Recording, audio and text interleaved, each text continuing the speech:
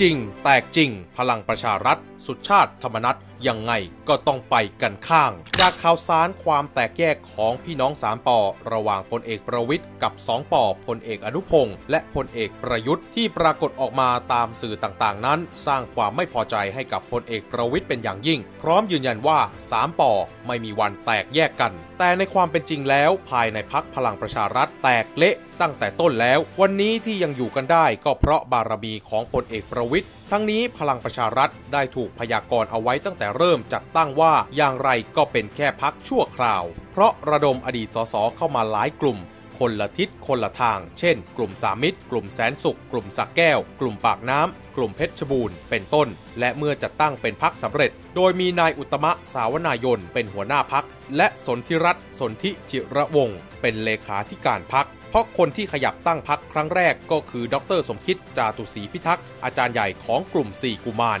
แต่ปรากฏว่าหลังเลือกตั้งพักพลังประชารัฐได้สสเขต 97 คน จากภาคกลาง 40 คน กรุงเทพ 12 คน ตะวันออกเฉียงเหนือ 11 คน เหนือ 21 คน และภาคใต้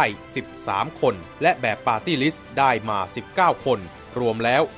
116 คนที่สุดก็เป็นไปตามการคาดการณ์หลังจัดตั้งรัฐบาลได้ไม่นานพักพลังประชารัฐก็แตกดังเพราะเพราะแต่ละกลุ่มต่างเบ่งบารมี เพื่อต่อรองตำแหน่งรัฐมนตรีกันตลอดเวลา สุดท้ายร้อยเอกธรรมนัฐ ก็พังอาจขึ้นมา ในฐานะเลขาธิการพักโดยฮุบมาจากอนุชานาคาสายจากกลุ่มสามิตร แม้จะเคยจับเบอร์กันยึดพักจากอุตมะและสนธิรัตน์ก็ต้องหลบให้ไปบารมีอันเบ่งบานของร้อยเอกธรรมนัฐ จะมีก็เพียงสุชาติชมกลิ่นจากชนบุรีที่ไม่ยอมก้มหัวให้ โดยสุชาติเป็นมือผสานกลุ่มสสภาคกลาง ที่มีจำนวนสสมากที่สุดกว่า 40 คน ซึ่งมีเสอ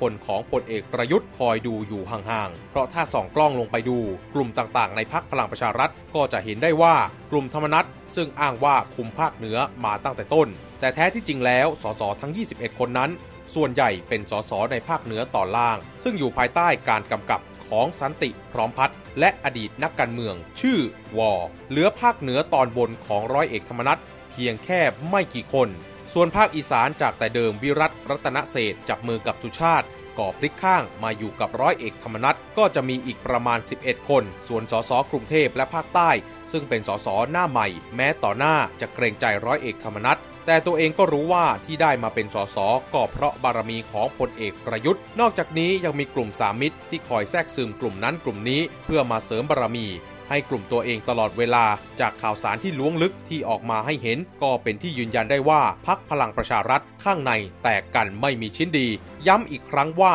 ที่ยังอยู่ได้ก็เพราะบารมีของพลเอกประวิทย์และที่มีการปรากฏในข่าวสารว่ามีการแข่งบารมีของพลเอกประวิทย์และพลเอกประยุทธ์ โดยการเกณฑ์สสมาลงพื้นที่อยุธยากับเพชรบุรี แท้ที่จริงแล้วเป็นการวัดบารมีระหว่างร้อยเอกธรรมนัฐกับสุชาติมากกว่า ซึ่งได้มีรายงานว่าร้อยเอกธรรมนัฐได้ให้ทีมงานงานโทรศัพท์เช็คสสรายคน ว่าจะเดินทางไปลงพื้นที่กับพลเอกประวิทย์หรือพลเอกประยุทธ์ไม่ต่างจากการบังคับให้มีการเลือกข้าง โดยทางด้านของสุชาติยืนยันว่าในการไปต้อนรับพลเอกประยุทธ์ในครั้งนี้ ได้ขออนุญาตพลเอกประวิทย์แล้วแหล่งข่าวระดับสูง ในมูลนิธิอนุรักษ์ป่ารอยต่อ ได้ยืนยันว่าแม้ร้อยเอกธรรมนัฐจะชังหน้าสุชาติสุดๆ เพียงใดก็ขยับอะไรไม่ได้ เพราะสุชาติก็ยังเป็นคนที่พลเอกประวิทย์เอ็นดู ในทุกเช้าของทุกวันสุชาติก็จะเข้ามารายงานการปฏิบัติงาน ให้พลเอกประวิทย์รับทราบทุกวัน ดังนั้นในวันนี้พี่น้องสามปอจะแตกกันหรือไม่ แต่สุชาติกับร้อยเอกธรรมนัฐดูท่าแล้วน่าจะยากที่จะจับมือผสานกัน วันใดพลเอกประวิทย์วางมือ ก็คงจะได้เห็นอย่างชัดเจนการวัดพลังกันของทั้งสองคน เหยี่ยวข่าววงในรายงาน